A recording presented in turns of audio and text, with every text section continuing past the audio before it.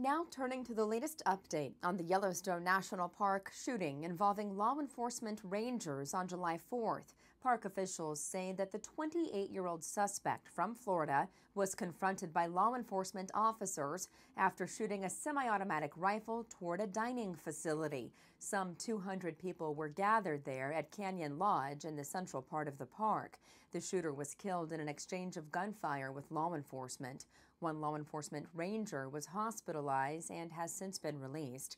Before the shooting, investigators say a woman reported she'd been held against her will by a man with a gun at a residence at Canyon Village. She also reported the man threatened to kill her and others in a mass shooting at July 4th events outside the park.